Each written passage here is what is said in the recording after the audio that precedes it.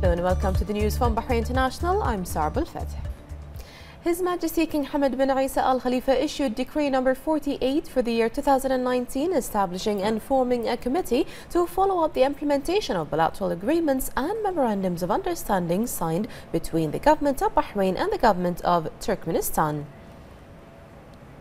His Majesty King Hamad bin Isa Al Khalifa ratified and issued Decree Number 12 of 2019 endorsing Bahrain's joining the amended document of establishment of the Global Environmental Fund, which was restructured on September the 15th of 2014 and endorsed by the Parliament and associated with this law. His Majesty King Hamad bin Isa Al Khalifa ratified and issued Decree Number 13 of 2019 endorsing Bahrain's joining the Treaty on Principles governing the activities of states in the exploration and use of outer space, including the moon and other celestial bodies. The law endorses Bahrain's joining the treaty approved by the United Nations General Assembly Resolution 222221 dated December the 19th of 1966 associated with this law. And His Majesty King Hamad bin Isa Al Khalifa today ratified and issued two laws which had already been approved by the Shura and Representatives Councils. According to Law Number 14 of 2019, His Majesty the King ratified an agreement between Bahrain and the United Arab Emirates for air services between and beyond their respective territories. In Law 15 2019, His Majesty the King ratified an agreement between Bahrain and Brunei Darussalam for air services between and beyond their respective territories. The two agreements were signed in Bahrain on November the 14th, 2018.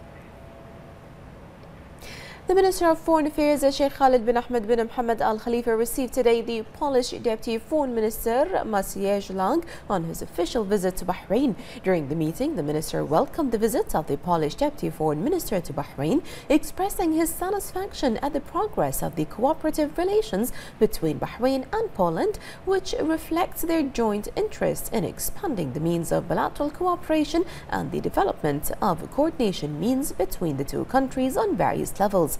For his part, Maciej Lang expressed pride in meeting Sheikh Khalid bin Ahmed, affirming Poland's keenness on strengthening cooperation and coordination with Bahrain and developing the friendly relations between them in various fields. He praised Bahrain's efforts in consolidating peace and stability, wishing Bahrain further progress and prosperity.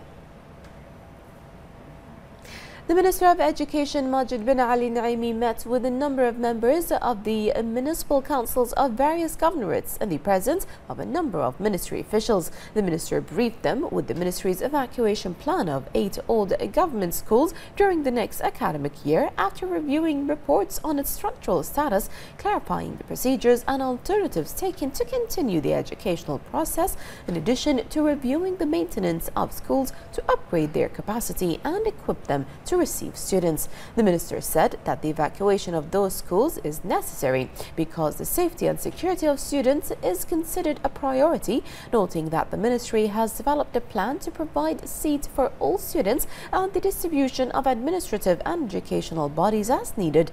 The minister pointed out that new schools and educational buildings in various governorates will be opened in the next academic year, including the Sheikh Moza bin Hamad Al Khalifa Comprehensive School for Girls in the Southern Governorate, which is the first of its kind at the level of public schools, a new elementary school for girls in Hamad Town, a new building at El Salam Primary School for Girls in House, a new academic building at the West Riffa Primary School, and a new academic and administrative building in El Muharraq Primary School for Girls. During the meeting, a number of ministry officials presented a comprehensive presentation on the evacuation of schools in various governorates, during which they explained the ministry's alternatives and procedures procedures to the educational process. The Chief Executive Officer of the Labour Market Regulatory Authority and Chairman of the National Committee to Combat Trafficking in Persons, Osama Abdullah Al Absi, highlighted the Kingdom's maintenance of its Tier 1 status in the 2019 U.S. Department of State Trafficking in Persons the TIP report.